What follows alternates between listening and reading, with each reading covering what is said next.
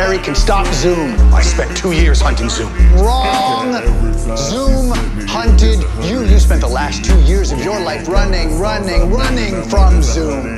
Zoom would have killed me, just like he will kill Barry if you lead him down this path. No, because he is not like you. Barry runs towards danger, not from it. Because Barry's not a coward.